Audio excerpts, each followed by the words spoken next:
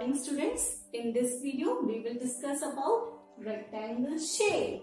You can see I have drawn this rectangle shape for you. This is rectangle shape. Then two standing line of same length and two sleeping line of same length are joined together. They make rectangle shape. What is this? Rectangle shape. There are so many things around us which are in rectangle shape. I will show you few. What is this? This is mobile phone. This is rectangle in shape. Which shape is this? Rectangle shape. What is this? This is notebook. This is also in rectangle shape. Which shape is this? Rectangle shape. What is this? This is ketchup packet.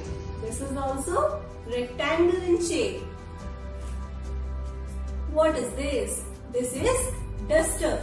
You use eraser to erase your pencil. I use this duster to erase my marker. This is also in rectangle shape. Which shape is this? Rectangle shape. Now we will do an activity.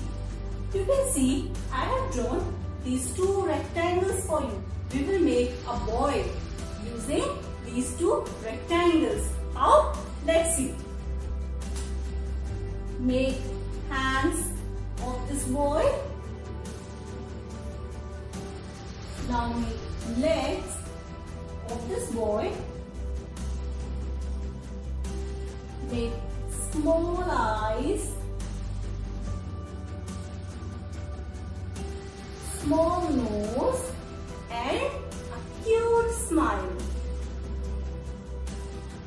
Our boy is ready. You have to make this boy in your notebook at home and you have to color it.